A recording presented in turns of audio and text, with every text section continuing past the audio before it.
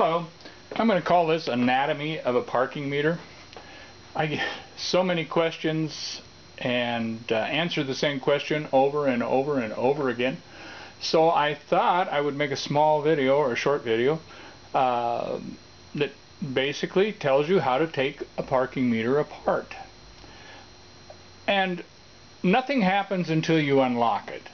Uh, you have to remember this is a box with money in it that is outside and protected and they didn't make it easy to get into them. Uh, that wasn't that wasn't their goal. The keys are fairly difficult to reproduce. Takes a special key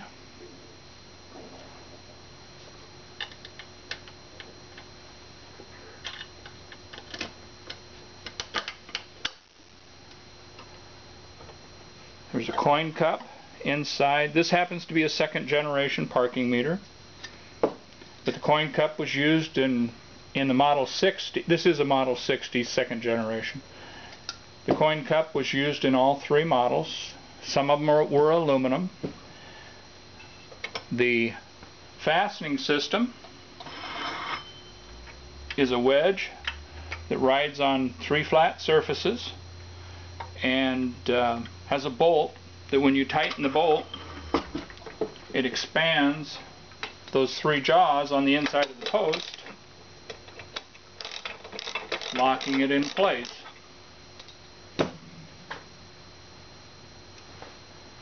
If you're trying to take the door off don't just sit there and hammer on these pins.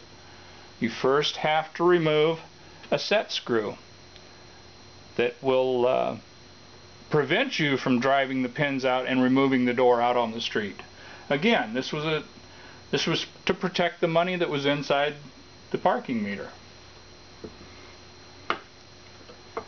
Normally, there was a service key, or excuse me, a, a vault key for the uh, for the money, and a service key for the back. In most cases, they were different, so that they could send a technician out to work on the parking meter without giving them access to the vault. I happen to rekey them the same because the keys are expensive. They're $30 a piece. This will lock and unlock the vault. That allowed them to remove, except if you paint it in, the mechanism which was re totally removable. To change out the lenses, there are four screws. Sometimes they're a hex head, sometimes they're a Phillips. That would allow you to remove this band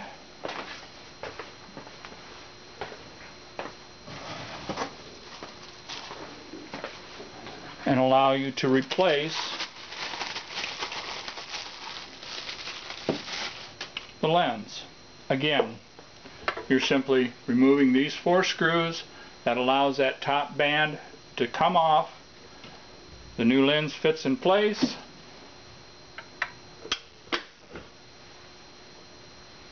Shouldn't be, it's not difficult. There's uh, other than nothing happens until you unlock it.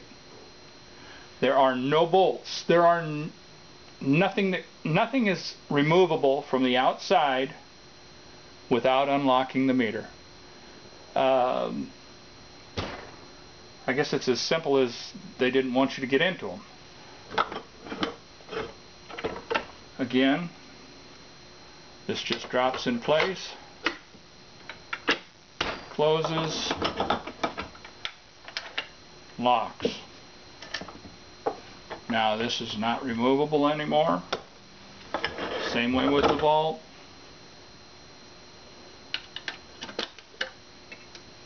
You don't have access to anything until it's unlocked. I hope this little video just gives you a basic idea of what it takes to get into one of these and the reason why they didn't make it easy. Uh, I can pick the locks uh, usually in fairly short order. Uh, I have keys that uh, I can replace many of the locks In most cases, I'm simply resetting the keys to work with an existing key that is not secure. Uh, or is not, let me rephrase that, is not being used by a city.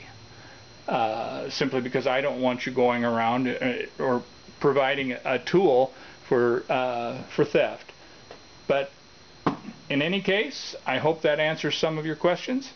Um, hope you enjoyed the video.